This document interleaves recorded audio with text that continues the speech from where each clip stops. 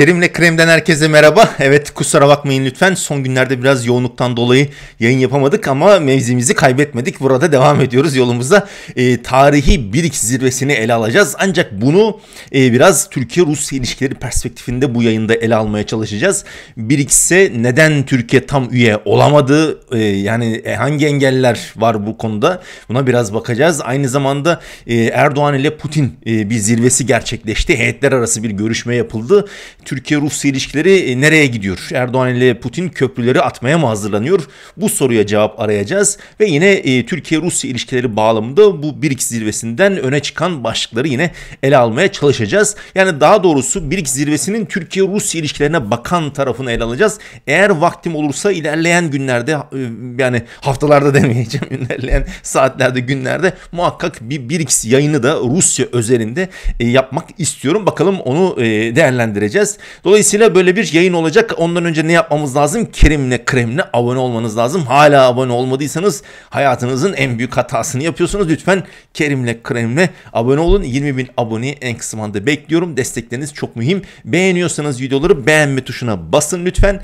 Ee, çorbada tuzunuz, daneniz olsun sizin de muhakkak ve yine bildirimleri açıp başkalarıyla da paylaşırsanız güzel olur. Ve yorumlarınızı, görüşlerinizi, eleştirinizi muhakkak videonun altına bekliyorum. Bununla birlikte yine hatırlatmamı yapayım. Shorts videolara da başlamıştık. Bir süredir devam ediyor. Tam gaz devam ediyoruz. Shorts videolarına da zaten en fazla 59 saniye oluyor. Onları da izleyin. Kısa video izle, izlemek isteyenler var. Oralarda da muhakkak desteklerinizi aynı şekilde devam e, etmenizi bekliyoruz. Ve tabii maddi açıdan, finansal açıdan yardımcı olmak isteyenler olursa da malum Kerim'le Kremlin yayınları babamız babamın hayrına yapılan yayınlar bu yayınlar. Dolayısıyla eğer bu konuda eğer hani bağış kısmında e, bağışta bulunmak istiyorsanız, finansal destekte de bulunmak istiyorsanız Patreon hesabı da orada duruyor. E, onu da belirtmiş olalım tekrardan. Şimdi Türkiye'nin BRICS üyeliğine geldiğimizde malum bu zirvede yani Tataristan'ın başkenti Kazan'da yapılan bir zirve bu. Rusya'nın ev sahipliğinde yapılan bir zirve ve bu zirvede e, Türkiye tam üye olarak BRICS'e kabul edilmedi. Bir anlamda BRICS e, üyeleri, ülkeleri kimlerdi bunlar? B zaten Brezilya, R zaten Rusya, hani Rusya, işte İ zaten oradaki India, e, Hindistan, e, China C harfi falan işte S de South Africa yani Güney Afrika ülkesi. Bu 5 ülkeydi bunlar. Bu yıl başında 4 ülke daha katıldı. İran, Birleşik Arap Emirlikleri, Mısır ve e, hangisiydi? E, bir ülke daha katıldı yani önemli değil. Neyse e, toplam 9 ülke oldu. Suudi Arabistan değil e, Etiyopya katıldı özür dilerim. Suudi Arabistan bir katıldı dendi katılmadı dendi falan. Bu sefer mesela zirvede 9 üye birlikte aynı masa etrafında toplandılar. Dolayısıyla benim anladığım kadarıyla Suudi Arabistan hala tam üye değil. Arjantin bir katıldı dendi ancak Arjantin'de yönetim değişince yeni bir çılgın bir cumhurbaşkanı başa gelince o e, bir ikisi katılmaktan vazgeçti. Dolayısıyla şu an benim 9 tam üye var ama Suudi Arabistan böyle bir yeşil ışık bir kırmızı ışık yanıp duruyor orada. Dolayısıyla 9 üye bir şekilde yoluna devam ediyor. BRICS dediğim gibi 5 artı 4 Etiyopya, İran, Birleşik Arap Emirlikleri ve e, Mısır katılmış oldu. Şimdi bu yıl başında bu ülkeler katıldılar. E, dolayısıyla tekrardan bir genişlemenin olup olmayacağı söz konusuydu. Haddi zatında bu mesele şu son iki yıldır da çokça tartışılıyor idi. Çünkü Ukrayna'daki savaşla birlikte batı dışı dünyanın da böyle batı ile Rusya arasındaki bu güç mücadelesinde veya Çin'e de, Çin'i de dahil edebiliriz buraya. Bir çeşit böyle kendilerinin zorluklar yaşadığı bir sürece girilmişti. Bu ülkelerde kendilerine alternatif başka platformlarda arıyorlar idi ve bu anlamda ille de Batı ile ilişkileri krize giriyor anlamına da gelmiyor bu Batı dışı ülkeler. Ancak her halükarda kendilerinde belli ölçüde biraz daha rahat hissedebilecekleri oluşumlar, yapılar arayışına da girmişler. Dolayısıyla şu son 2-2,5 yılda Ukrayna'daki savaşla birlikte Batı dışı dünyanın da BRICS gibi böyle alternatif oluşumlara oldukça ilgisinin arttığını vurgulamak lazım. Bu neden tarihi bir zirve dedik? Çünkü 30 civarında ülke lideri veya başbakan, cumhurbaşkanı düzeyinde katılımlar oldu, Dışişleri Bakanı ve aynı zamanda 6 da e, uluslararası kuruluşlardan, örgütlerden yine üst düzey katılımlar gerçekleşti. Mesela Birleşmiş Milletler Genel Sekreteri e, de katıldı bu zirveye. Bu çok önemliydi çünkü İsviçre'de yapılan Ukrayna Ukrayna'da barışla ilgili İsviçre'de yapılan Haziran ayındaki mesela toplantıya Antonio Guterres mesela BM Genel Sekreteri katılmamıştı. Bu sefer bizzat Rusya topraklarında yapılan bir toplantıya katıldı. BM Genel Sekreterinin yine Gazze'deki çıkışlarından dolayı İsrail'e girişi yasaklandı. İsrail'de istenmeyen adam ilan edildi. Hatta Amerika'da zaman zaman fırça kayabiliyor. Yani e, neticede küresel güney ülkelerinden birinden geldiği için de belki de BM Genel Sekreteri nispeten benim anladığım kadarıyla böyle Rusya'ya daha toleranslı bir yaklaşımı söz konusu. Tipik bir batılı bir e, siyasetçi bir figür değil, diplomat değil. Bunun altını yine çizmek isterim. Dolayısıyla böyle 30-36 civarında işte devletten ve uluslararası kuruluşlardan katılım oldu. Bu önemliydi çünkü her şeyden önce Rusya'nın izolasyondan e, çıktığını bir anlamda veya belki de hiç girmediğini istediğini göstermiş oldu veya şunu da söyleyebiliriz. Batı'nın Ukrayna'daki savaşla birlikte Rusya'yı izole etme, uluslararası arenada izole etme politikalarının yani çok da başarılı olmadığını hatta bence başarısız olduğunu da net bir şekilde somut bir şekilde göstermiş oldu bu. Ee, yani ciddi sayıda ülkenin veya uluslararası kuruluşun katılımı dediğim gibi ve bu anlamda BRICS e, işte 9 tam üyenin haricinde bir de 13 ülkeyi BRICS partnerleri olarak BRICS Plus diye geçerek işte BRICS, BRICS e, Outreach yani falan denilerek bir çeşit böyle e, yani gözlemci statüsü de diyebiliriz. Diyalog partneri falan da deniyordu. Şişyanga İşbirliği Örgütü bünyesindeki böyle ülkelere malum. Bu da işte BRICS ortakları denilen ülkeler sınıfına bir şekilde konmuş oldu Türkiye. Tam üye değil. E, asıl ana toplantıya katılmıyor Türkiye. Ancak bunun haricinde gibi bir yan toplantıya hani has odaya alınmıyor tabiri caizse ama yandaki işte salona alınmıyor işte bekleme odasında falan bir şekilde bekletiliyor bekliyor. Böyle bir listeye alınmış oldu Türkiye. Başka ülkelerde var bunlar arasında işte Malezya var, Endonezya var, Tayland var falan filan. Bu ülkelerin bazıları Çin'e yakın, bazıları Hindistan'a yakın, bazıları Batı ile ilişkileri güçlü, bazıları zayıf falan.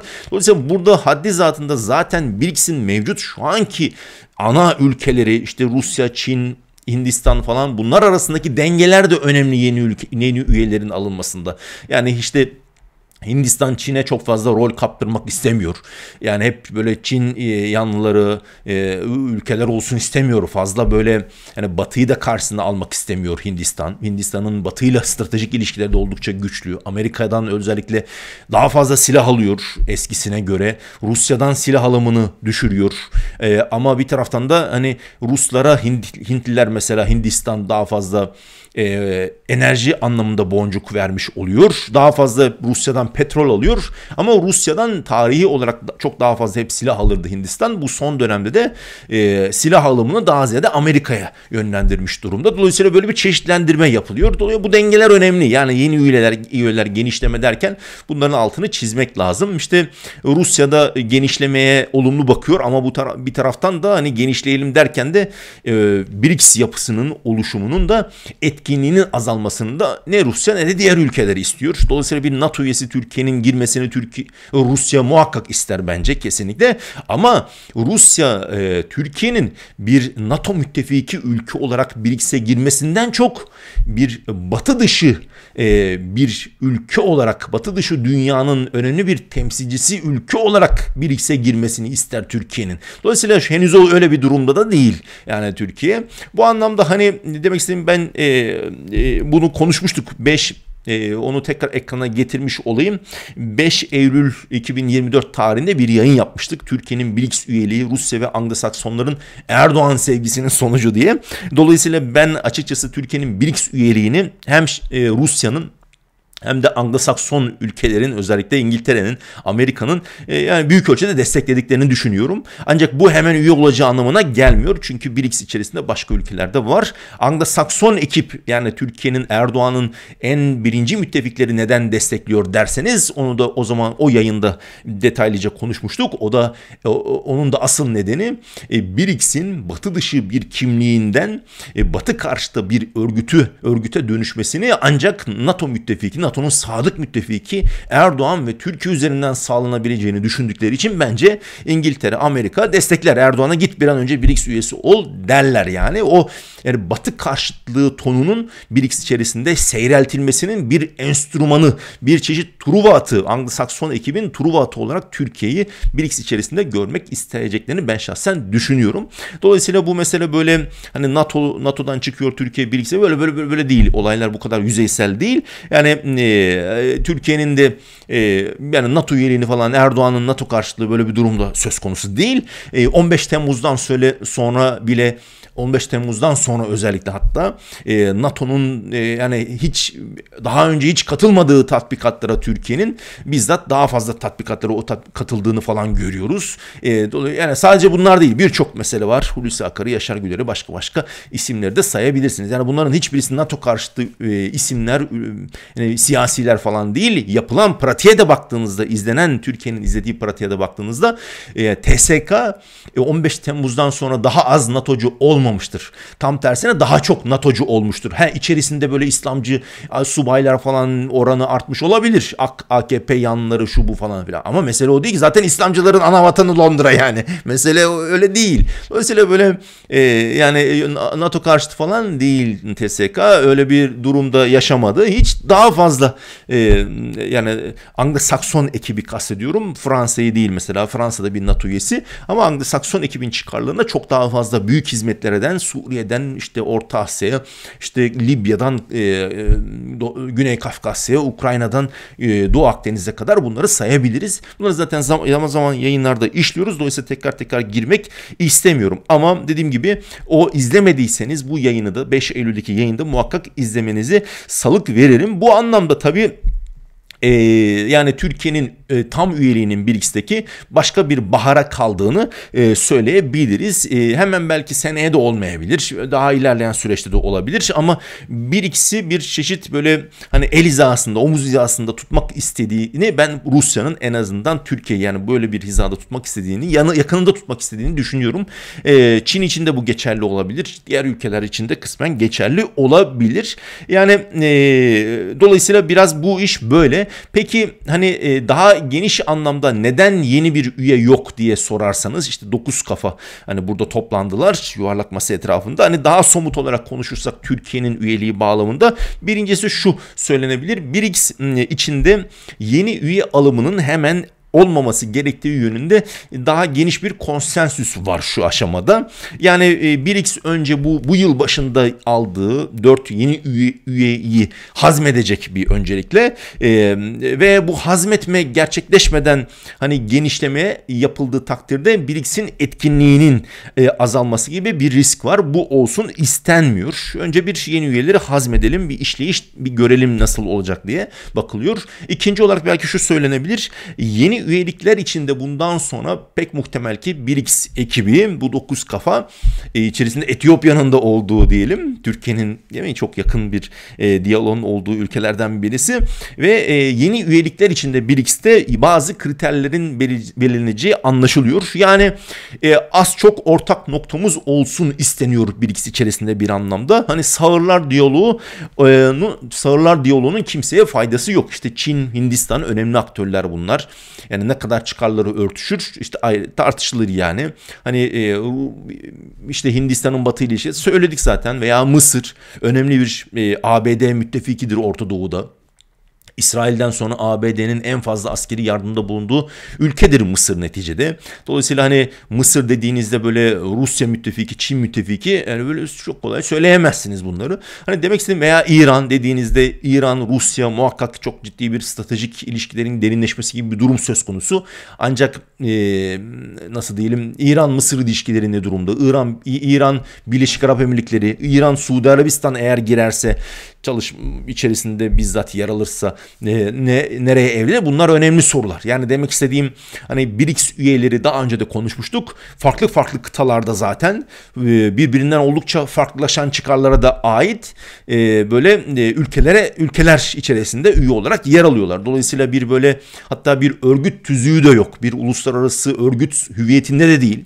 Bir oluşum, bir yapı, bir platform, bir kulüp falan da denebilir. Dolayısıyla böyle yeni üyelik üyelikler için bazı kriterlerin aranacak olması olması da bundan sonra anlaşılabilir. Öbür türlü her birimiz hani farklı telden çalarız. Dolayısıyla sağırlar diyaloğu olur diye bir çekince var. Üçüncü olarak da daha önce de yine Eylül ayındaki yayında da bahsetmiştim. Türkiye'nin BRICS üyeliği konusunda Çin'in ve Hindistan'ın tutumları özel e, dikkat edilmeyi gerektire, gerektiriyor diye. Çünkü e, Çin'in e, Türkiye'nin BRICS üyeliğine pek sıcak ben bakmadığını şahsen düşünüyorum. Burada Uygur meselesi önemli bir faktör olarak ortaya çıkıyor. E, ve böyle Türkiye'nin daha ziyade bir ekonomik yük olma gibi bir durumu söz konusu olabilir e, BRICS üzerinde. Yani yük almaya değil de hani yük olmaya mı geliyor Türkiye? Çünkü ekonomik olarak Türkiye zor durumda e, yeni krediler biriksin biliyorsunuz e, kalkınma bankası var oradan kredi alacak e, o kredileri de daha çok Çin veriyor zaten hani dolayısıyla hani Çin böyle durduk yere hani e, Türkiye'ye kredi vermek mecburiyetinde kalmayayım ben bir de bu platform bünyesinde demiş de olabilir ama bunlar Çin uzmanlarına sormak lazım asıl benim şahsi kanaatim böyle Çin biriksin genişlemesini ister ama Türkiye'nin hemen böyle hızlıca üye olmasına ben mesafeli baktığı kanaatindeyim? Asıl bir de diğer e, mesele Hindistan. Bu da yine bu zirvede çokça tartışıldı. Türkiye'nin BRICS üyesi olmasını asıl Hindistan karşı çıkıyor falan deniyor. Katılıyorum. Bunu da zaten Eylül ayındaki yayında yine söylemiştik. Orada da hatta şu e, iki nedeni söylemiştim Hindistan bağlamında da. Birincisi e, Türkiye tarihsel olarak Hindistan, Pakistan böyle savaşlarında çatışmalarında hep Pakistan'ın zaten kardeş ülke. Pakistan'ın yanında yer alır. İkincisi de son dönemde, son birkaç yılda bu Türkiye ile Hindistan arasındaki e, böyle Pakistan'ın da katıldığı falan bu e, nasıl diyelim ayrışmalar e, Güney Kafkasya'ya da yansımaya başladı. E, bir taraftan Azerbaycan'ın yanında Türkiye ve Pakistan müttefik olarak dururlarken e, Hindistan'ın Güney Kafkasya'ya yönelik bir angajmanı e, ciddi oranda artmaya başladığını görüyoruz. Ermenistan'a en fazla silah tedarik eden şu son birkaç yıl içerisinde ülkelerden birisi de Fransa ile birlikte Hindistan. Dolayısıyla Güney Kafkasya'da böyle e, tam anlamıyla bir iki eksis, iki hat e, e, oluştu diyemeyiz. Hani böyle Ermenistan, işte Fransa ve Hindistan bir tarafta, diğer tarafta Azerbaycan Türkiye ve Pakistan tam diyemeyiz böyle karşılıklı olarak bir böyle bir güç mücadelesi ama gölgeli bir yani bir savaşta veya bir böyle gerginlikte söz konusu. Dolayısıyla hani Hindistan'ın e, Türkiye ile böyle bir ilişki e, modeline sahipken e, Türkiye'ye hemen e, bir ikisi üye olması konusunda olumlu ışık yakacağını ben zaten o zaman da söylemiştim. Çok beklemiyorum diye. Dolayısıyla hani mesele biraz böyle olsa gerek. Başka başka nedenler de var. Ancak bu üç husus dediğim gibi önemli olarak ortaya çıkıyor gerekiyor. Türkiye'nin BRICS'te böyle partnerlik statüsüyle hani e, yani e, yakında tutulması ama has odaya alınmaması öyle söyleyelim. Tabii bununla birlikte batı dışı dünyanın da Birikse ilgisinin e, çokça arttığını yine dediğim gibi belirtmek lazım. E, böyle 30'dan fazla ülke kuruluş falan katılması hani bir şekilde üyelik isteyen hem ülkeler var hem de ilişkileri geliştirmek isteyenler var Biriks ile. Bu açıdan Rusya'daki Biriks zirvesi sadece bakın Rusya topraklarında Sovyetler sonrası yapılmış en büyük zirve değil. E, aynı zamanda Biriks'in de tarihindeki en büyük zirve oldu. E, aynı zamanda yine bu açıdan da batı dışı dünyanın da farklı farklı kıtalardan ve siyasi, askeri, toplumsal backgroundlara sahip ülkelerin bir araya geldiği de en büyük zirvelerden biri oldu. Yani mesela İslam İşbirliği Teşkilatı diyebilirsiniz. Batı dışı dünya netice itibariyle daha çok e, o, o bir ikisinden daha fazla ülkeyi bir arada topluyor diyebilirsiniz. Ama bu İslam İşbirliği Teşkilatı neticede farklı farklı e, siyasi, askeri, ekonomik, toplumsal backgroundlardan gelen ülkelerin oluşturduğu bir birlik değil. Dolayısıyla hani e, BRICS bu anlamda belki de şu ana kadar hani dediğim gibi batı dışı dünyanın farklı farklı böyle kıtalardan, coğrafyalardan farklı backgroundlara sahip ülkelerin bir araya geldiği en büyük zirve oldu. Bu açıdan BRICS, batı dışı dünyanın e, BM'si olma potansiyelinin her geçen gün yükseldiğini belirtmek lazım. Yani Birleşmiş Milletleri yani bir anlamda Batı dışı dünya e, kendi sesini soluğunu e, 1x üzerinden daha fazla duyurabilme imkanına kavuşuyor. Kavuşabilme potansiyeli var. En azından gelecekte böyle bir perspektif sunulabilir. Eğer işlerse, çalışmalar devam ederse ve eğer bence Rusya bir nükleer silah kullanmazsa herhangi bir yerde. Çünkü Rusya nükleer silah kullansa e, işte böyle bir zirveyi gerçekleştirmesi bence e, pek mümkün olmaz. Hatta hiç mümkün olmaz yani. O zirveye yani ne Erdoğan katılır ne Çin de katılır diye düşünüyorum açıkçası. Neyse o ayrı bir konu. Ama hani böyle şeyler var muhakkak sınır, sınırlılıklar var. Yani bu sınırlılıkların olması da fena bir şey değil. Neyse ve şunu demek istiyorum. Aynı zamanda böyle bir zirve e, batı merkezli tek kutuplu dünyanın etkisini yitirmekte olduğunu ve bir çeşit çok kutupluluğa doğru gidildiğini de gösteriyor. En azından bu konuda batı dışı dünyada bir talebin olduğunu gösteriyor. Ee, bir X ülkeleri ve partnerlerinin çoğu belki hani Rusya'nın Ukrayna politikasını desteklemeseler de batının da yine Ukrayna veya İsrail veya Gazze, İsrail-Filistin meselesi tutumunu benimsemediklerini ve batı merkezli liberal dünya düzeninin mevcut haliyle sürdürülmesinin de e, sürdürülmesinden de rahatsızlık duydukları olduklarını gösteriyor. Bunlar önemli e, çıktılar diye bakılabilir. Batı dışı dünya zaten aşınmakta olan e, ABD liderliğindeki hegemonyasındaki o tek kutuplu dünya düzeninin çok kutuplu bağlamda alternatifinin kurulmasında bir ikisi böyle geleceği en parlak bir oluşum olarak e, görüyor da yine e, söylenebilir. Bu ileri sürülebilir. Bunlar dediğim gibi bence çok önemli kritik hususlar. Bunlar üzerinde belki saatlerce de konuşulabilir ama ben burada duracağım. Çünkü asıl bizi e, Türkiye-Rusya ilişkileri perspektifine bakacağız ama bu dediğim hususlar da dünyanın haddi zatında nereye gittiğini de bizlere gösteriyor. Dolayısıyla hani şeye gelelim isterseniz biraz da magazin kısmı kısmına gelelim. Hemen ondan sonra Putin Erdoğan zirvesine geleceğim. E, Tataristan'ın başkenti e, dediğim gibi Kazan. Böyle uçakta inerken hep zaten e, Tatar lider Tataristan'ın glavası, reisi diye geçiyor. Artık Tataristan Cumhurbaşkanı denmiyor ona. Ee, e, herkesi bütün liderleri o karşıladı. Karşılarken de tabii Rusların geleneksel işte ekmek ile tuz, hlepisol e, ile karşılaması vardır ve aynı zamanda Tatar tatlıları vardır. Çak çak denir ona. Hani böyle çok lezzet olup olmadığı ayrı bir tartışma konusudur öyle söyleyeyim. E, ama Tatar tatlısı ile birlikte böyle karşılaması söz konusu oldu. Adam tabii 30 civarında 36 kişi falan karşıladığı için her seferinde de böyle gün içerisinde çak çak tatlısını yemek bilmiyorum artık e, ne kadar e, kolay olmuştur. Yani glukoz kom- komasına girmiş olabilir. Allah korusun. Tabi Rustam Minnihanov böyle herkesi bütün e, liderleri biraz ekmek aldı. Biraz da şey tabi Erdoğan da e, dondurmayı dondurmaya yumulduğu gibi e, Tatar çak çak tatlısına da yine yumulmuş olduğunu ekranlarda görüyorsunuz. Yani e, mesela Putin salona, Birik zirvesi salonuna e, Çin lideri Xi ile girdi. Bunlar Bunlar sembolik fotoğraflar olduğu için, kareler olduğu için göstermek istiyorum o anlamda. Bir taraftan işte e, zirve devam ederken e, Paşinyan ile e, Aliyev e, orada sohbet ediyorlar bir taraftan da. Yani mesela değil mi? Hani bunlar da önemli hususlar. Çünkü iki ülke lideri biliyorsunuz bir barış anlaşması bir önceki yayında detaylıca konuşuyoruz zaten konuştuk. Hani imzalı bir imzalı çok çok konuşuluyor ama o diyalogda devam ediyor. Hatta toplantı devam ederken e, Paşinyan bayağı bir böyle e, hani vücudunu döndürerek de Aliyev'e bir şeyler anlatmaya çalışıyor. Aliyev pek oralı olmadığı anlaşılıyor. Ama yine de bu kareler önemliydi. Veya işte... что наше сегодняшнее заседание проходит в день Организации Объединенных Наций. Именно 24 октября 1945 года Evet Putin bir şeyler anlatıyor falan ama e, dediğim gibi her halükarda buralar önemliydi ve e, böyle sembolik e, gelişmeler de yaşandı. Hatta yine Putin konuşurken Evet bir saniye şurada Birisi Lavrov'un ayağına basıyor. Lavrov diyor ne oluyor falan deyip böyle bir bakın şu ekrandaki görüntüleri göreceksiniz. Yuri Uşakov yardımına koşuyor. Ne oldu diyor falan. Расширенном заседании БРИКС Outreach Plus я хотел бы поблагодарить господина Путина за участвовать на Lavrov da böyle normal hayatta biraz ağzı küfürlüdür yani.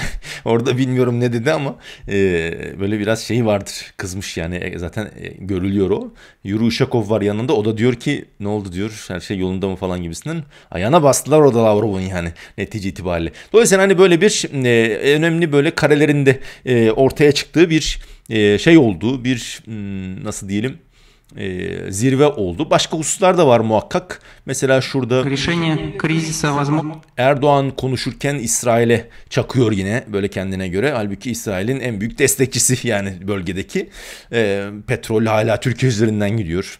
İşte e, İsrail'in ürettiği silahların e, çeşitli böyle bileşenleri Türkiye üzerinden gidiyor hala. Neyse ama e, İsrail'e çaktığı zaman Mahmut Abbas da orada Filistin lideri o Erdoğan'ı alkışlıyor. На основе Формирования создания независимого палестинского государства с э, столицей в Восточном э, Иерусалиме – это неотъемлемое требование. Поэтому э, поддержка Израиля оружием и э, боеприпасами без каких-либо условий лишь только усиливать будет э, кризис и нестабильность. Нужно, мы начали инициативу остановить ООН оружие, в том числе в рамках evet, Neyse yani bunlar yaşanıyor ve bu anlamda da tabii e, bu zirvenin en önemli gündemlerinden birisi de e, Putin ile Erdoğan görüşmesi oldu. E, bir Putin ile Erdoğan... Президент Российской Федерации Normalde aslında e, bu zirveden birkaç gün öncesinde Putin ile Erdoğan'ın teke tek bir görüşme yapacakları belirtilmişti. E, ancak e, biz şunu gördük. Evet, teke tek bir görüşme olmadı. Daha ziyade malum zaten hep böyle tek tek görüşüyorlar son 8-10 e, yıldır işte tercümanlar aracılığıyla. Heyetler de katılıyor sonradan bazı görüşmelerde ancak tek tek görüşmeler önemliydi. Ancak bu sefer tek tek olmadı dediğim gibi heyetler arası görüşme yapıldı ve bu görüşmede böyle bir saat kadar sürdü. Yani bir saatten az bile sürdü. Dolayısıyla e, beklenmedik e, seviyede yani bir az bir durum var. Burada da tabii heyetler olunca da zaten kime kaç dakika düşecek falan filan. Yani hani e, çok bir şeyin tartışılmadığı, görüşülmediği anlaşılıyor. Bunun nedenleri var. Yani beklentileri karşılamamışa benziyor iki tarafında bu Erdoğan-Putin görüşmesi. E, çünkü e, bunu ben Twitter'da da paylaştım. Üç temel sorun var ikili ilişkilerde şu an. Biraz ona bakalım istiyorum açıkçası. E, ve bu sorunlara baktığınızda birincisi şu. Karşılıklı ticaretle ilgili Türkiye'nin fiiliyatta Rusya'ya karşı Batı ambargolarına daha çok uyduğunu görüyoruz son dönemde. Son yani özellikle de Aralık 2023'ten bu yana ABD yönetimi ikincil yaptırımları kabul eden bir e, tas, yasa kabul etti. Yani e, yani yaptırımları aşan ülkeler de vardıysa da onları da sıkıştırma bağlamında. Her ne kadar bu burada böyle Türkiye'yi tam böyle boğazına sarılıp hani hadi yaptırımlara uy falan demiyor ABD. Zaten bunu defalarca yine yayınlarda işlemiştik. Ama zaman zaman böyle kaçaklar olduğunda da kendisine göre işte Rusya'ya mesela Türkiye üzerinden çifte kullanımlı hem sivil hem askeri amaçlı böyle ürünler gittiği zaman Türkiye'nin ayağına basıyor. Diyor sen Erdoğan yani şey yapma dikkatli ol falan yoksa seni, sana yaptırım getiririz tarzında ikincil yaptırım tehdidi var. Bu anlamda e, ikili ilişkilerin geliştiğine dair e, Putin e, bir ifadede bulundu. Ticari ekonomik ilişkiler falan gelişiyor tarzında. Geçen yılki ticaretin ticaret hacmi 55.4 milyar dolar dedi. Bu yıl Ağust e, Ocak-Ağustos aylarında toplamda %6,2'lik artış söz konusu dedi. Yani 59 milyar dolar belki de yıl sonu böyle bir durum olabilir. 59-60 milyar dolar. Bakalım bunu göreceğiz eğer bu oranlar doğruysa veya sürdürülebilirse. Ama şunu demek istiyorum. 2022 yılında Türkiye-Rusya ticaret hacmi 68-70 milyar dolarlara varmıştı. Yani 2022'ye göre hala bir gerileme söz konusu. 2023'e göre belki bir adım e, ilerlemiş olabilir veya hani bu istatistikler zaman zaman değişebiliyor. Yani işin bu yanı da var. Yani e, Türkiye ile Rusya'nınkiler örtüşmeye de biliyor veya Rusya'nın Çin'in ticaret istatistikleri de örtüşmeye yine biliyor bunlar.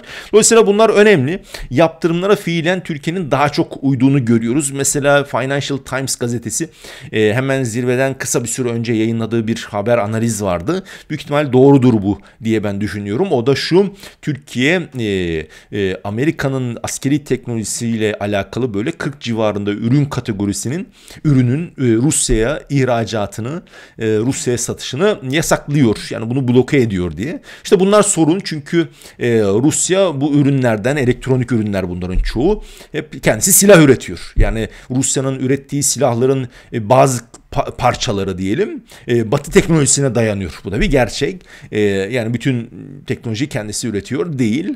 E, dolayısıyla bunu Rusya işte Türkiye olsun, Çin olsun, başka başka ülkeler olsun buralardan aşmaya çalışıyor. Oralardan yaptığı ihracatla işte özellikle mikroçipler falan gibisinden teknolojilerden bahsediyorum. Dolayısıyla hani e, bu bu da doğru. Yani e, Türkiye üzerinden giden bir e, bu anlamda e, bir destek var Rusya'ya belki böyle söylenebilir. E, ancak bu bundan Rusya rahatsız çünkü kendisinin silah üretimine e, bir anlamca bir anlamda hani kısıtlama oluyor. Yani neyse burada Türkiye'nin faydasına zararına bunlar ayrı tartışmalar. Ukrayna meselesinde Türkiye'nin nerede durması gerekiyor bunları zaten çokça tartışıyoruz. Ancak bu Rusya açısından bakıldığında yani bu hem ticaretimizi aksatıyor hem işte e, yani sen yaptırımlara katılmıyorum diyorsun ama de facto katılıyorsun aslında falan tartışması başlatıyor. Yani Putin'in böyle Erdoğan arasında Putin ile Erdoğan arasındaki güveni sarsan bir tablo oluşturuyor. Yani yaptırımlara katılıyorsan Mehmet Şimşek onu söylemişti Avrupa'daki bir toplantıda. Biz yaptırımlara zaten katılıyoruz şeklinde İngiltere'deki yaptığı toplan bir toplantıda zannediyorum söylemişti. Hani katılıyorsan katıl. Ona göre kategoriyi hani Rusya'nın e, Nistran'ı diye geçen dost olmayan ülkeler kategorisi var. Oraya koyalım diyor. E onu da istemiyor Türkiye çünkü turizm var bunun enerji boyutu var, başka boyutları falan var. Yaptırımlara katılmayı e, Türkiye kendi ayağına sıkma olarak görüyor. O zaman hani mikroçipler falan filan veya elektronik eşyalar ne olacak? Çifte kullanımlı ürünler. Yani bunlar tartışma konusu. Bunlar böyle Türkiye'nin e, kendisinin ancak hem batıda hem de doğuda e, güven verici e, politikalar izlemesiyle aşılabilecek sorunlar. Mesela Hindistan'la Batı arasında, ABD arasında, e, Türkiye ile ABD arasında yaşandığı derece derecede bir sorun yaşanmıyor. Çünkü biraz önce dediğim gibi Hintliler mesela Rusya'dan silah alımını azaltıyor, Amerika'dan alıyor.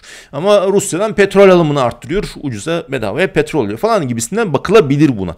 Yani e, ama her halükarda birinci sorunlu husus olarak dediğim gibi ikili ticaret hacminin e, belli ölçüde azalması belki hacim azalmasa da Rusya'nın ihtiyaç duyduğu asıl ürünleri alamaması, bankacılık konusundaki sorunlar, ödemelerdeki sıkıntılar, hani SWIFT sisteminden çıktı falan çıkarıldı Rus bankaları, ödemeler nasıl yapılacak, Rus turistler Türkiye'ye geldiğinde neyle ödeyecekler falan filan gibi meseleler. Bu konularda böyle ortak banka kurulması, bir ortak e, kart geliştirilmesi, hani e, bunlar konuşuluyor ancak somut anlamda böyle ciddi bir ilerlemenin olmadığını da belirtmek lazım. İkinci kritik husus sorunlu olan mesele doğalgaz hap meselesiydi. 2022 yılında kuzey akım boru hatları patlatıldığında Rusya'nın işte Baltık Denizi'nin altındaki Putin'in Ekim 2022'de gündeme getirdiği bir projeydi bu. Türkiye topraklarında bir doğalgaz hap, doğalgaz merkezi kuralım diye. Ancak bu merkez henüz kurulamadı. Tabii Ruslar zaman içerisinde biraz daha Ukrayna'da rahatlayınca bu konuda daha talepkar olmaya başladılar BOTAŞ'tan, Erdoğan'dan.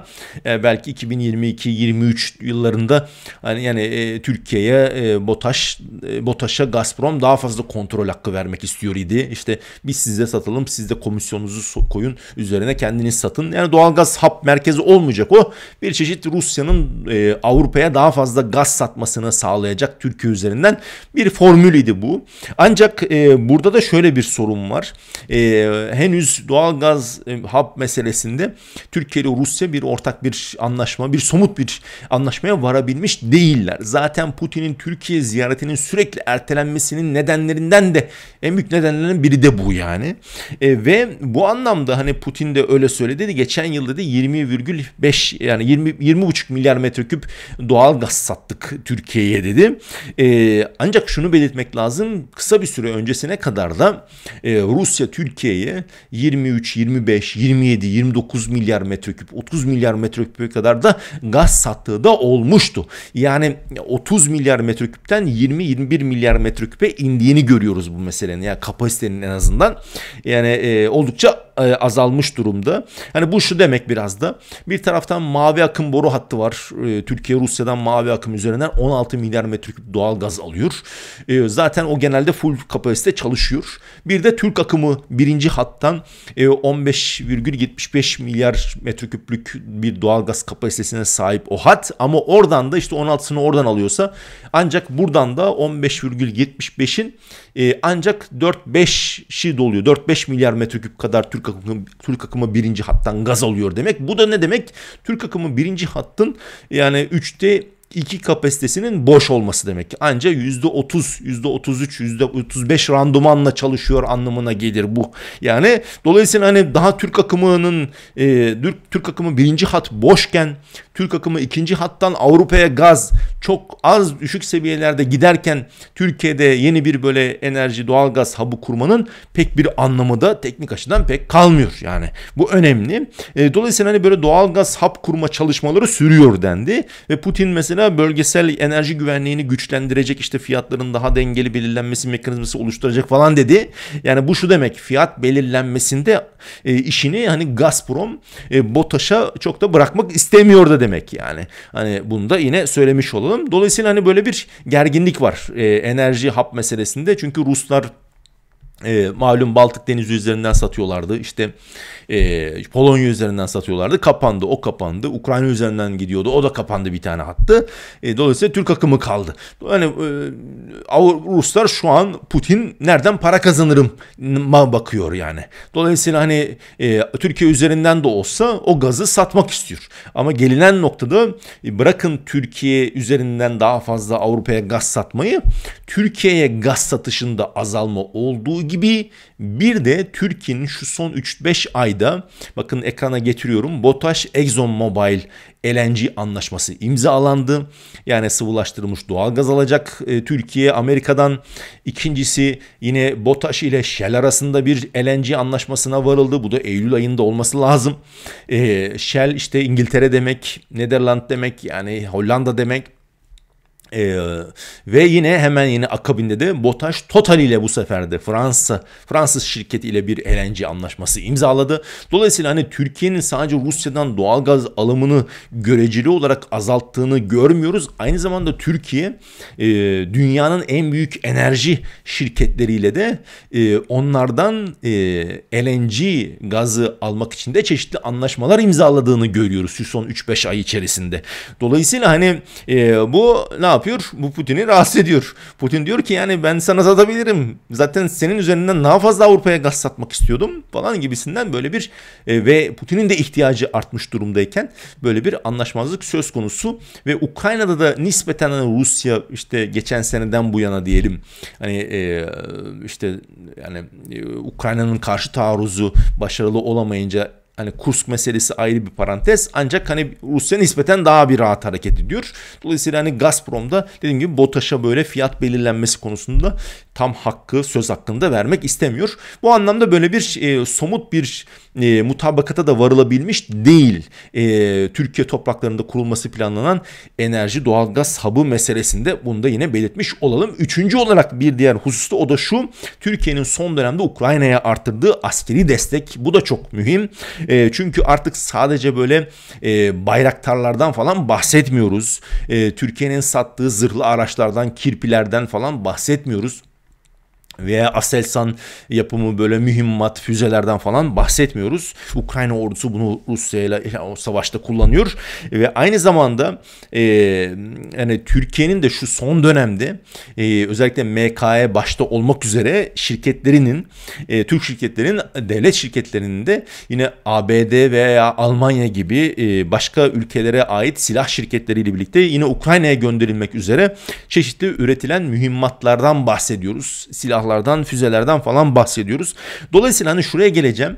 Gelinen noktada e, sadece böyle Ukrayna topraklarında e, kullanılan Türk silahlarından bahsetmiyoruz. Bunların ötesinde, e, Ukrayna topraklarının ötesinde bizzat Rusya topraklarında da Kursk'ta da mesela e, ve neticede Rus askerini de öldürmek üzere. Yani neticede Rusya ile savaşıyor. Rusya işgal ediyor. Rusya Ukrayna'da neticede buna direnç gösteriyor. O da hani Türk silahlarıyla e, Rusya topraklarında ve neticede Rus askerinin ölümüne yol açan Kursk'ta ve bizzat Rusya'ya karşı kullanılmak üzere Ukrayna'ya gönderilen Türk silahlarından bahsediyoruz. Bunları çünkü Rus medyası çok detaylıca ele alıyor, işliyor. Özellikle son dönemde. Bu konuda da yine geçtiğimiz günlerde bir tweet paylaşmıştım. Mesela orada da şunu söylüyordu. Hani e, Erdoğan-Putin ilişkilerinin son dönemde kötüleşmesinin bir nedeni de Ukrayna'ya arttırdığı Türkiye'nin silah sevkiyatı. Mesela Kremlin'e yakın medya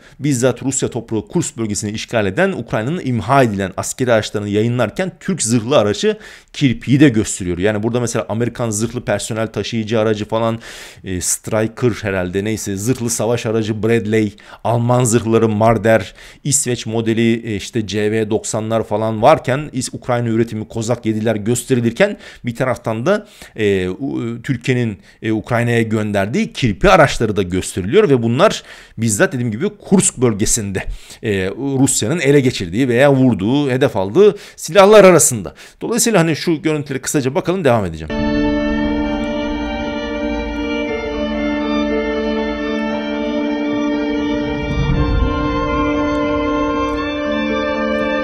Neyse bunu silah uzmanları daha iyi bilirler hangi araç neye ait diye. Hatırlarsanız yine bundan önceki yayınlardan birinde Putin'in Çeçenistan ziyareti olmuştu. Orada da yine aynı şekilde ee, Rus askerlerin işte Ukrayna'da ele geçirdiği Türk silahları da yine bizzat Putin'e gösterilmişti. Dolayısıyla böyle e, Türkiye'nin ürettiği silahlar, Türkiye'nin ABD ile Almanya ile Ukrayna'ya daha fazla silah göndermesi, mühimmat üretmesi falan bunlar hep böyle Putin'in son dönemde oldukça rahatsız olduğu hususlar ve bu anlamda da tabii şunu da belirtmek lazım. Türkiye'nin Ukrayna'ya silah desteğini keseceğine dair bir işaret, bir işaret olmadığı gibi e, bu silah desteğinin artacağını gösteren de birçok emarenin de mevcut olduğunu yine belirtelim. Çünkü şu sıralar Erdoğan'ın ABD ile arasını iyi tutmaya ihtiyacı var. Tabii ABD'de seçimler var ama her halükarda bu geçerli. Çünkü buna ekonominin ötesinde de Suriye'de değişecek denklemde veya işte Kürt meselesiyle belki bununla ilgili bir yayın yaparız yakında. E, bunları da dahil etmek gerekir. Dolayısıyla hani BRICS zirvesinin şunu demek istiyorum ilişkilerin daha da kötüye gitmesini hani şimdilik engellediği söylenebilse de ilerlemesine katkı sağladığı da pek ileri sürülemez. Tabi basına açık kısımda da çeşitli böyle öne çıkan hususlar oldu. Oraya da geçelim kısaca sonra toparlıyorum. Putin böyle genel anlamda Putin Erdoğan'la görüşürken dediği terör saldırısından dolayı Ankara'daki TUSAŞ'a yönelik e, orada e, bir kınama e, da bulundu işte falan hani e, bu saldırının arkasında ben açıkçası hani Rusya'nın İran'ın olduğunu söyleyenler de var, iddia edenler de var. Ee, ama çok güçlü argümanlara dayanmadığını görüyorum bunun. Olabilir, olmaz demem ben bu konuda. Ee, ama güçlü argümanlara ihtiyaç var. Yani delil olması zordur bu konularda ama böyle güçlü olması lazım. Ee, açıkçası zannetmiyorum. Zaten PKK üstlenmiş durumda. Ee, ancak bununla birlikte de Hani PKK'nın da içerisinde başka başka e, ülkelere, güçlere çalışan ekipler, gruplar da vardır. Bu da tamamen zaten ihmal e, yani göz ardı edilmemeli. Ama şunu demek istiyorum. E, daha önceki yayınlardan bundan iki ay kadar önceydi zannediyorum. Onu e, o konuyu o zaman işlediğimizde daha da detaylı ele alırız. O zaman da şöyle söylemiştim.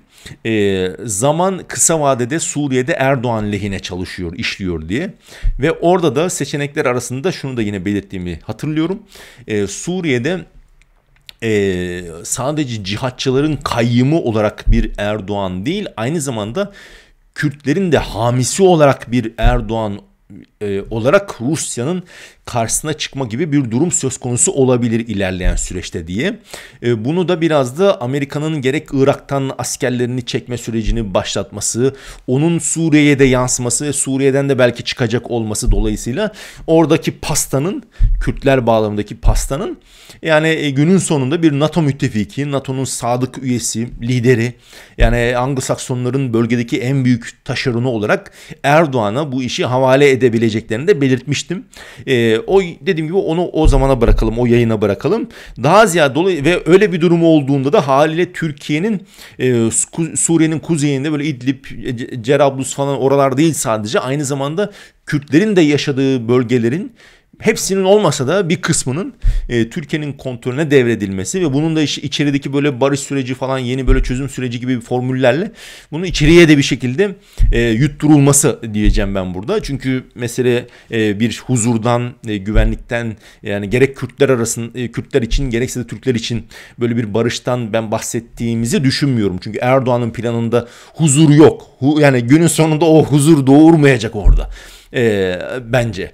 E, bir aldatmaca söz konusu ama bu planın içeriye yutturulması bağlamında da böyle Öcalan, PKK falan filan meselelerinin son gündemde Bahçeli eliyle e, yine ortaya çıkarıldığını ben ileri sürüyorum. Ama bunu o yayına bırakalım havale edelim isterseniz. Dolayısıyla hani ve o mesele ister istemez ne oluyor? Türkiye'nin Suriye'nin kuzeyindeki etkinliğinin, nüfuzunun artması Türkiye'yi Rusya ile daha fazla karşı karşıya getirebilecek bir tabloyu e, yani e, önümüze e, getirebilir. Yani bunu belirtmek isterim. Ve bu anlamda hani Putin yine e, ikili görüşme sırasında e, Türkiye Rusya'nın Türkiye'deki yatırımlarından metalurji, otomobil sanayi falan bahsetti. Türkler de dedi Rusya'da işte makine endüstrisi, orman ürünleri, metalurji gibi alanlarda yatırımları oldukça arttı dedi. Zaten Türkiye'nin de Rusya'da en fazla yatırım yaptığı bölgenin de Tataristan olduğunu da yine Putin belirtti. Akkuyu'ya dikkat çekti. Mesela bu ilginç idi. Çünkü seneye dedi elektrik vermeye başlayacak Akkuyu 2025'te. Halbuki hatırlarsanız 2023 yılındaki Cumhurbaşkanlığı seçimleri öncesinde hemen ee, Erdoğan ile Putin Akkuyu bilmem kaçıncı kez açmaya başla, açmaya çalışmışlardı. Yani açılışı olmuştu. Ee, ama seneye açılış olacak yani olursa. Turizm konusunda 2023'te Türkiye'yi 6,3 milyon Rus turist ziyaret etmiş. Önceki yıla göre %21 artış var. Yani bu da önemli Putin için. Çünkü çok fazla da sıkmaması lazım Rusları. İçerisi kaynar o zaman da. Rusların da gidebileceği, belli ölçüde para harcayabilecekleri her ne kadar Türkiye'de fiyatlar artmış olsa da hani Avrupa'ya göre göreceli olarak nispeten daha uygun turizm hala Ruslar açısından. Demek istediğim dolayısıyla e, yani Rusların Türkiye'ye gitmesi e, günün sonunda siyaseten Putin'e de bir avantaj sağlıyor. Yani onu Türkiye'ye Erdoğan'ın karşıda belli ölçüde kullanabiliyor. Turizm yani e, vanası kapatıldığında Türkiye'de büyük sıkıntı yaşıyor. İşte uçak krizi zamanında görmüştük bunu. Bu yıl ise dedi Ocak-Ağustos dönemindeki artış dedi Rus turistlerin sayısına %5'e yakın. Yani dolayısıyla bu yıl sonu belki 7 milyona yakın Rus turist Türkiye'ye gitmiş olacak olacak. E, Türkiye hala Rus turistler için ilk destinasyon olma özelliğini koruyor. Türkiye'deki yangınlarda Rus uçaklarının yangın söndürme uçaklarının falan faydalarından falan bahsedildi ve Orta Doğu'da da İsrail-Filistin meselesinde iki ayrı devletin kurulması yani Filistin devletinin daha doğrusu kurulması falan bu konularda yakın düşünüyoruz. İşte Suriye'yi, Güney Kafkasya'yı falan konuşacağız dedi. Ukrayna konusunda dedi size son durumu anlatırım diye de giriş yaptı Putin. Yani e, Güney Kafkasya'yı zaten konuştuk. Suriye'yi konuşacağız. Ukrayna konusundaki durumu da kısaca biraz önce bahsetmiş oldum. Erdoğan da yine kısa tuttuğu görüşmede e, yani basın açık kısmı kastediyorum ama içeride zaten 50 dakika konuştukları için çok fazla dediğim gibi detayların benim bahsettiğim eksende olduğu kanaatindeyim. Bir ikisinden falan bahsetti. Mesela e, Erdoğan Ukrayna meselesine girmedi. E, bu ilginç idi. Astana'dan sonra hani burada da Putin'le görüşmekten memnunum dedi. Astana'da Şio zirvesi vardı Temmuz ayında. Bu da BRICS zirvesi. Bunlar hep Rusya'nın önem verdiği batı dışı oluşumlar. Yani bir anlamda Erdoğan şu son yıllarda hep e, Putin'le görüşmelerinde hep deplasmana geliyor. Yani bunu vurgulamak lazım. Terör saldırısından falan bahsetti Ankara'daki. Ticaretle ilgili ödemelerle ilgili sorunları çözmeye çalışıyoruz dedi ama somut herhangi bir şey çıkmadığını belirttim. İstanbul'daki geçen haftaki 3 artı 3 görüşmelerine dikkat çekildi. Yani Güney Kafkasya ile ilgili Azerbaycan, Ermenistan, Gürcistan, işte Türkiye, Rusya, İran altılı görüşme ama Gürcistan katılmıyor idi. Güney Kafkasya'daki denklemi de geçen dediğim gibi yayında ele almıştık. Putin'i de tekrar Türkiye'ye davet etti Erdoğan. E, ama Peskov da yine ve bir, sanırım herhalde 150. kez olabilir. Putin Türkiye'ye gidecek ama henüz tarih belli değil diye de vurguladı. Dolayısıyla Putin e, bence hani yine Türkiye'ye gitmeden önce hani e, Erdoğan tekrar Rusya'ya gelmek zorunda kalabilir önümüzdeki aylarda diye de bir tahminimi buraya da bırak bırakmış olayım. E, bu anlamda e, Erdoğan'ın bir iki konuşması da yine belki dikkat çekiciydi. Terörle mücadelede işte falan e, mücadele ediyoruz tarzındaki ifadeler. Hani bir Tataristan'ın başkenti Kazan'dan Ankara'da Kazan'daki terör saldırısı oraya gitmiş oldu falan. Bir ikisi daha adil bir dünya düzeni falan ticari ilişkiler için kullanma niyetini belirtti. BRICS'le diyaloğu geliştirmeye çalışıyoruz falan. Ukrayna'yı yine BRICS toplantısında da bugünkü es geçmiş oldu. BRICS'in konusu çünkü Ukrayna değildi. Yani bunu da belki belirtmek lazım. Batı dışı dünyaya göre e, yani Ukrayna meselesi onların asıl gündem maddelerinden yani asıl ana kaygısı Ukrayna değil Batı dışı dünyanın küresel güneyin küresel doğunun diye bakabiliriz. Orta Doğu bağlamında İsrail Gazze meselesi Lübnan'ı konuştu. E, Erdoğan buna dikkat çekti. Yani İsrail'in saldırıları Gazze'deki soykırımı falan tabi buradan hep bunları yapınca böyle puan alıyor. O bir anlamda söylem düzeyinde bunu bir ikisi de böyle dile getirmiş oldu. İsrail'e silah yardımı son bulmalı işte Batı'nın iki yüzlülüğü falan şeklinde vurgular. E, silah üretiminde kullandığı malzemeler halbuki İsrail'in biraz önce dediğim gibi Türkiye'den gidiyor. İsrail'e petrol, Azerbaycan petrolü yine Türkiye üzerinden gidiyor falan ama bunlar hep Erdoğan'ın böyle şov amaçlı kullandığı, kullanabildiği hususlar. Yani e, x zirvesinde de kimse mesela İsrail'e söylem düzeyinde Erdoğan kadar çakmadı. Ama pratikte de Erdoğan'ın bölgedeki İsrail'in en büyük aparatı gibi böyle çalıştığını da taşeronu gibi çalıştığını da rahatlıkla söyleyebiliriz. Topar Toparlarsam ben burada bir şey söyleyeceğim. O da şu. E, uzun zamandır Putin Türkiye'ye beklenirken e, Erdoğan ile Putin bir kez daha yine Rusya topraklarında buluşmuş oldular. Bu görüşme BRICS zirvesi adı altında yapılmış olsa da Erdoğan için önemli olan kısım haddi zatında bizzat Putin'le görüşecek olmasıydı. Çünkü arada bir birbirlerinin pozisyonlarını çek etmeleri gerekiyor bu iki liderin. Türkiye-Rusya ilişkileri Ukrayna Savaşı'na kadar Rusya lehine olacak şekilde son derece asimetrik bir ilişki modeline sahipti. Bunu zaten yıllardır vurguluyoruz. Siyasi, askeri, ekonomik parametreler hep buna işaret ediyor idi. Ukrayna'daki savaşa kadar özellikle. Ukrayna'daki savaşla birlikte veya Rusya'nın Ukrayna'yı topyekun işgaliyle birlikte Putin'in Erdoğan'a ihtiyacı çokça artmıştı. Bahsettiğim bu asimetri dolayısıyla son iki buçuk yılda Türkiye lehine bir değişim göstermişti. Putin'in Erdoğan'a hala hala çokça ihtiyacı var. Ancak bununla birlikte şu son 2,5-3 yıldaki avantajı Türkiye'nin pek iyi bir şekilde değerlendiremediği de görülüyor. Bu avantajdan bence daha fazla yararlanılabilirdi. Buna enerji anlaşmaları dahil Türkiye için daha iyi koşullarda enerji tedariki sağlanabilirdi. Bu petrol için de geçerli, doğalgaz için de geçerli. Hap projesi de yine daha profesyonelce hazırlanabilirdi. Gerçek anlamda bir doğalgaz hub'ı merkezi olabilir. Bu potansiyeli hala bile sahip Türkiye. Her ne kadar birçok fırsat kaçırılmış olsa da ve buna yine Su Suriye olsun, Güney Kafkasya başta olmak üzere bölgesel güvenlik dahil hani Suriye'de barışa gidilebilirdi. Güney Kafkasya'da inisiyatif alınıp bölgede varılabilecek kazanımlar e, çokça artırılabilirdi. Yine buna karşılık karşılıklı ticaret ve yatırımlar dahil Türkiye ile Rusya arasında Rusya ile ticaret hem daha dengeli, karşılıklı çıkara dayalı, ihracat ithalat dengesini koruyucu şekilde böyle sağ, daha sağlıklı uzun vadeli kurumsal hale getirilebilirdi. Hem de Batı ambargolarından negatif etkilenen Rusya'nın yanı sıra diğer ülkeler, post-Sovyet ülkelerde dikkate alındığında bu coğrafyada, post-Sovyet coğrafyada Türkiye adına daha aktif ekonomik bonuslar elde edilebilirdi. Yani Rusya'nın Türkiye'ye ihtiyacı çok yönlü ve çok boyutlu kazanımlara dönüştürülebilirdi diye düşünüyorum ama bu gerçekleşmedi. BRICS partnerliği elde edildi ki normalde bu dediklerim yapılmış olsaydı bizzat bu sefer BRICS Türkiye'yi tam üye olarak davet ederdi. Hani partnerlik ne yani bu anlamda? Hani böyle bir anlamda işin mutfağına sokulmayan bir statüyle Türkiye bir xte e, yani eşikte hani e, bir eşiğe eşikte bırakıldı gibi düşünülebilir.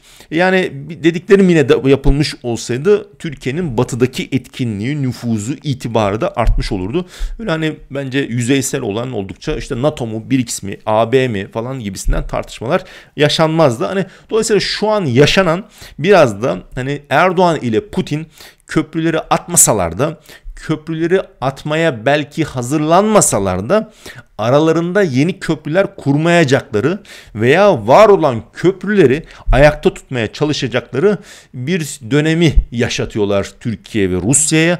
İki, iki ülke arasındaki ilişkilerdeki kırılganlığın devam edeceğini söyleyebiliriz. Dolayısıyla köprüler her anda yıkılabilir Yani e, böyle yıkılmadan da devam da edebilir belli bir süre daha en azından en azından orta vadede kısa vadede bu söz konusu olabilir. Ama Suriye'deki gelişmelerle e, süreci oldukça yakından belirleyecek gibi de duruyor. Yine bölgesel e, alanda Güney Kafkasya'da buna dahil diğer Orta Asya'sı Ukrayna'sı da bunlara eklenebilir. Dolayısıyla ilişkileri yakından takip etmeye devam edeceğiz. Kerim'le Kremlin'den şimdilik bu kadar. E, abone olun lütfen 20 bin aboneyi bekliyorum. Yeni köprüler kuralım. Sadece Türkiye ile Rusya arasında değil, e, Türkiye ile dünya arasında değil, dünyadaki bütün ülkeler arasında huzur içerisinde yaşamanın köprülerini Kerim'le Kremlin'den de kurmuş olalım. 20 bin aboneyi bekliyorum. Beğeniyorsanız beğenme tuşu, istifade etme tuşu bu. Beğenme tuşu. Bildirimler açıp paylaşın. Güzel olur. Çorbada tuzunuz olsun. Yorumlarınız, görüşleriniz de gözüm başım üstüne. Kendinize iyi bakın. Sevgi ve sağlıcakla kalın. Görüşmek üzere.